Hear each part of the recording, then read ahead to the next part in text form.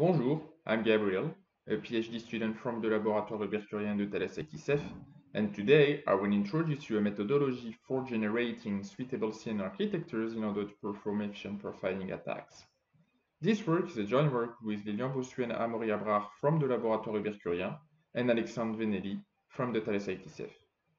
But first, before starting the presentation, what's the point with side channel attacks? A side channel attack is a class of cryptographic attack in which an adversary tries to exploit vulnerabilities from a system by analyzing its physical properties.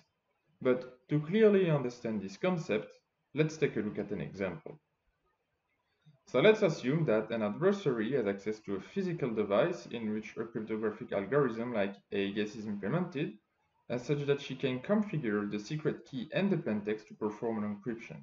Obviously, the goal of the adversary is to recover the sensitive information manipulated during this encryption. So to perform a side channel attack, at least one probe and one oscilloscope are needed, such that during the encryption, the adversary can capture a physical trace that directly depend on the sensitive information manipulated during the encryption. Obviously, because the adversary can configure the plaintext and the secret key, she can perform as many encryptions she wants to generate physical traces and find some leakages related to the secret she wants to retrieve. Typically, in the deep learning-based side channel attacks, the adversary generates a neural network to automatically match a physical trace with the correct target sensitive value. In this kind of attack, two phases can be highlighted. First, during the profiling set, the adversary trains a network to predict the correct sensitive information she knows based on the physical traces generated in the previous slide. So once this phase is performed, the adversary can predict the intermediate var variable on a similar target device containing a secret the adversary wishes to retrieve.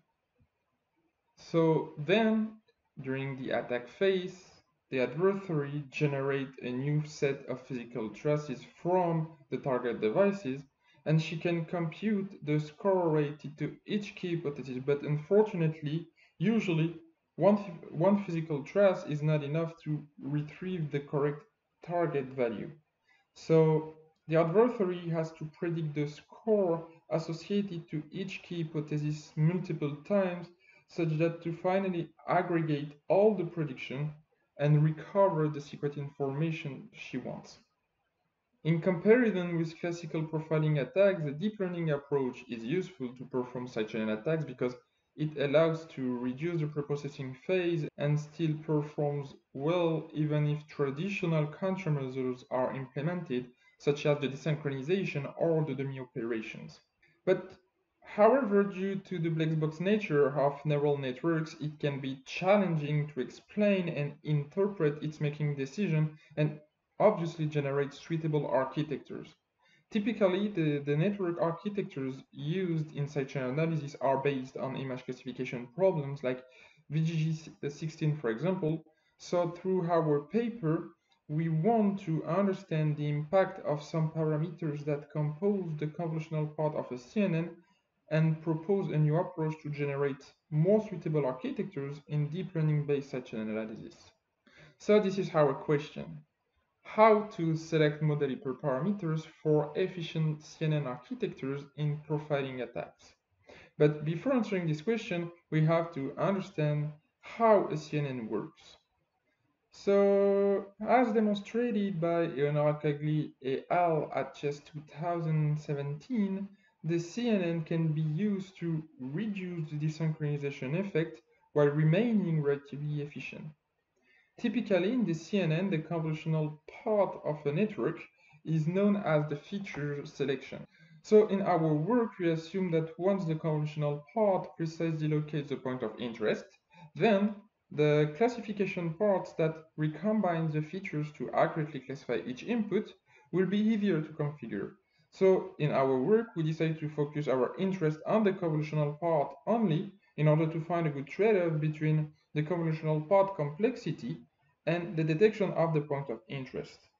But however, how can we construct an efficient convolutional part? One way is to understand how the parameters that compose the convolutional part impact the feature detection. So one solution is to understand and to visualize their behavior. Typically, in the deep learning side channel approach, the gradient visualization is used as a tool to evaluate the global performance of a network through the computation of the gradient of the model such that depending on its value, we can visualize the points that are considered as relevant by the network. But unfortunately, these tools cannot be used to independently evaluate the convolutional and the classification part. So we decide to adapt classical visualization tools in such a context, namely the weight visualization and the heat maps. So first, in a neural network, the weights reveal how important a feature is in order to accurately classify an input. For example, if the weights associated with the relevant information increase, the network will be more confident on the detection of the leakage and its exploitation will be easier in the classification part. So by visualizing the weights related to the first fully connected layer, we can clearly identify which features are retained by the network and we can independently evaluate the impact of the parameters that compose the convolutional part, such as, for example, uh, the, the filter size, which is unfortunately not the case with the gradient visualization tool. But even if the weight visualization is a useful tool, we still cannot understand which features are selected by each filter. So one solution is to plot the heat maps. So the heat maps plot the convolution operation between an input and each filter such that we can visualize the activation part induced by each filter. So this can be useful to adapt a network according to how the features are selected. So these tools, the weight visualization and the heat maps, sound useful to evaluate how the convolutional parameters affect the point of interest detection in such a context. But in order to deeply explain our methodology, I need to give you a little bit of background on how the convolutional part works. In a classical CNN architecture, the convolutional part of the network is composed by multiple convolutional layers and multiple pooling layers. So first, a convolutional layer aims at extracting some relevant information from the input in order to help the decision making. So this layer, this convolutional layer, is configured by multiple filters of size n and performs a series of convolutional operations with the physical trace, such that during the training process, the filter parameters are automatically set in order to identify the features that increase the efficiency of the classification. So here in our example, by sliding this window through the input through the physical trace, is helpful to identify the features extracted by each filter. So thanks to this visualization tool, we investigate the impact of the filter size on the feature detection by implementing an unprotected AES on a ChipWhisperer board. So with the help of the visualization tool, we observe that increasing the length of the filters will spread the same relevant information through the convolve time samples. And because the same relevant information is spread over the convolve trace, the exploitation of this relevant information could be difficult during the classification part. So much larger the filter is, less confident the network is on its ability to precisely locate the relevant information. And thus, the resulting training time needed for reaching the final performance could dramatically increase for large filters. And this phenomenon can be intuitively explained by the number of parameters that increase with the, the filter size. So by reducing the, the length of the filter, we will accelerate the training phase without significantly degrade the performance of the network. But obviously, depending on the pattern we want to detect, we have to adjust this lens. However, you have to notice that our work was only focused on the feature detection and that no investigation were made in order to understand how this choice impacts the efficiency of the classification part to combine the relevant information. Indeed, this choice is not necessarily the most optimized for all types of classification part, and a further study should be made in order to reduce this issue. But once the convolutional layer identifies the relevant features, the pooling layer is used to reduce the dimension of the convolved traces such that the most relevant information is preserved. Typically, two kinds of pooling operation can be employed, the average pooling and the max pooling. So first, the average pooling has the particularity of preserving the ensured inf relevant information between the consecutive convolved samples. But one issue with this operation is that, unfortunately, the average pooling gives the opportunity to the noisy sample to impact the expectation of the relevant information. So sometimes adding too many average pooling layers could impact the efficiency of locating precisely the relevant information.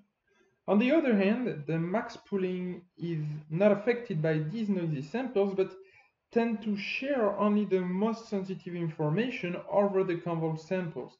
For example, in the worst case scenario, if two consecutive relevant information are included in the same max pooling operation, the network chooses to discard the less significant one, so it tends to reduce the number of leakages and make more difficult the exploitation phase provided by the classification part. This explanation of the pooling layer can be helpful to evaluate the impact of the convolutional blocks on the point of interest detection.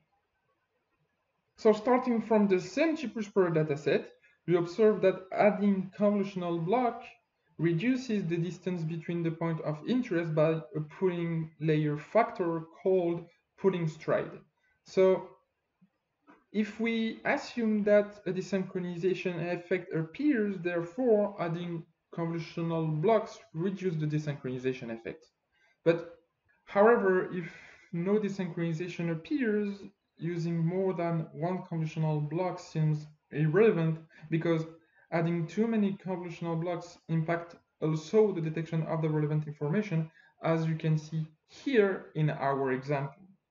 So a good trade-off needs to be found to detect the desynchronization effect and to preserve the maximum amount of relevant information related to the relevant points. So once these concepts, the pooling layers and the convolutional layers are understood, we can introduce a new methodology for generating suitable CNN architectures when desynchronization effect occurs. So to understand this methodology, let's take a look at an example. So let's assume that an adversary has access to a set of traces such that the SNR shell is defined as follows. So here we have five SNR peaks and each of them are spread over 100 samples. So obviously what an adversary wants is to generate a suitable CNN architecture such that the, the network focuses its interest on the relevant points while limiting the impact of the desynchronization effect and the irrelevant information induced by the noisy samples. So first, the adversary has to configure a first convolutional layer such that reducing the length of the filters help the network to optimize the extremum of a trace to be able to easily extract the secret information. So we suggest setting the length to 1 for the filter of the first convolutional block such that the feature extraction will be facilitated and the dimensionality of intermediate convolved traces will be reduced. Then the second convolutional block tries to detect the desynchronization effect. So by applying the filter size to the desynchronization divided by the pooling stride factor, we focus the interest of the network on the desynchronization effect for being sure to detect the point of interest.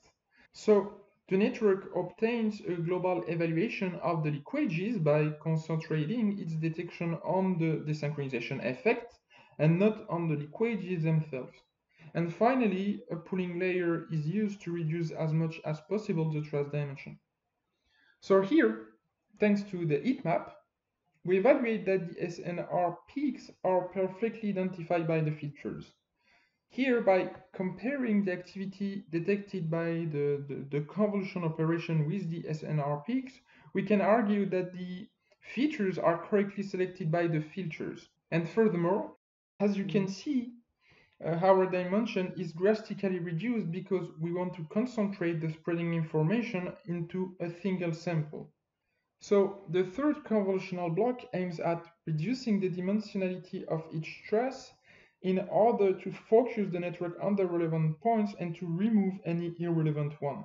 So hence, we force the network to focus its interest on this sensitive information. And applying these techniques limits the desynchronization effect because we force the network to concentrate the initial desynchronized point of interest into a single sample. And this property can be visualized once again thanks to the heat map. So in our simulation, we identified five SNR peaks, as already mentioned, and therefore we want to reduce the trace dimension into five samples at the end of our convolutional part such that each sample contains the information related to a single leakage. So here, for example, the first green point defines the relevant information containing in the first part of the trace. And because we concentrate the network on the liquids, the second green point sample contains information related to the second peak, and so on and so forth. The other points define the information related to the other relevant information. Using this technique forces the network to reduce the desynchronization effect by concentrating its interest only on the sensitive information. And finally, as I previously mentioned, the rest of the CNN architectures, namely the fully connected layers, defining the ability of the network to combine the relevant information, is defined as out of, of our scope. So to validate our methodology on the convolutional part, we decide to perform it on the most common datasets used in deep learning side channel approach. When desynchronization occurs, our methodology was performed on two public datasets. So the first dataset used is called AES-RD, and this is an AES implementation with a random delay effect, and because of these countermeasures, the typical profiling attacks like uh, template attacks are more difficult to perform because of the misalignment. The second dataset is called ASCAD, and this is the first open database that has been specified to serve as a common basis for further work in deep learning side channel analysis.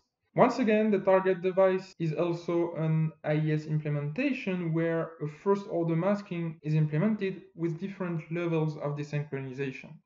To accurately evaluate the performance of our networks, we introduced a metric called NTGE that defines the number of traces that are needed for reaching a constant guessing entropy of 1. And for being confident in our experiment, we perform 100 attacks and define NTG bar as our future metric. Our goal here is to prevent the desynchronization effect by finding some model such that their performance are as much efficient as possible in comparison with the model trained on synchronous traces. So when our methodology is applied on the AES-RD dataset, the impact of the desynchronization effect is drastically reduced while the related performance increases. And in comparison with the state-of-the-art result, the overall performance is similar, while the network complexity and the resulting training time is greatly reduced, such that the network that we train is 40 times smaller than the network introduced in the state-of-the-art. However, one notification should be made indeed regarding our CHES paper. The result provided on the AES-RD dataset have been modified after a report on our work. So then, for the ASCAD dataset, two levels of desynchronization can be notified. The first one with a maximum desynchronization amplitude of 50 and another one with a maximum desynchronization uh, amplitude of 100. So first, the ASCAD dataset with a maximum random delay effect of 50, we observe that our network is far less complex than the architecture introduced in the original ASCAD paper. So by reducing the network complexity, we train our network much faster. But in addition, following the NTG value, we observe that we converge toward a constant guessing entropy of 1 with only 244 traces while the original paper couldn't converge toward the same performance with 5000 traces. So comparing this performance with ASCAD when no desynchronization occurs, we note that our methodology drastically reduced the impact of the desynchronization effect while keeping similar performance when no desynchronization occurs. So through this experiment, we can conclude that our methodology limit the effect of the random delay countermeasure. And this observation can be confirmed with the ASCAD when a, random, a maximum random delay of 100 is considered. Indeed, the original paper does not reach a constant guessing entropy of 1 with less than 5000 traces, while applying our methodology generates a much more powerful network that does not seem impacted by the desynchronization effect. Hence, once again, we can conclude that our methodology limits the effect of the random delay countermeasure. So if you want to reproduce our result, uh, our source code is available on GitHub and currently more than 500 unique visitors and 100 unique downloads can be notified. So this shows a heavy demand for open source code in deep learning based side channel analysis. But over the last five years, while the number of papers dedicated to the deep learning side channel approach topic increased a lot, only 10% of the research paper published an open source code for making reproducible experiments. So we deeply encourage all the researchers to promote the open source approach and make the DLSR great. So to briefly conclude on our results, we highlight that the networks needed to perform side channel attacks do not have to be complex to retrieve the point of interest and perform efficient attacks. So while our work was only focused on low trace dimension, our observation was recently confirmed on much larger traces. Obviously, we, did, we do not ensure that our methodology is the most optimized in all the cases, because indeed, for example, using additional techniques such as data augmentation, like SMOTE or using additional noise, can be useful to improve our experimental results. Furthermore, the random shifting effect does not seem secure anymore against side-channel attacks, and our conclusion is in agreement with the work provided by Eleonora Cagli al. at CHES 2017. And finally, as already mentioned, we deeply encourage the researchers to promote the open source approach for making reproducible results. So that's it. Thank you very much for watching the video and do not hesitate to contact me over email if you have any question. I'd be happy to answer or during the CHES event. Thank you very much.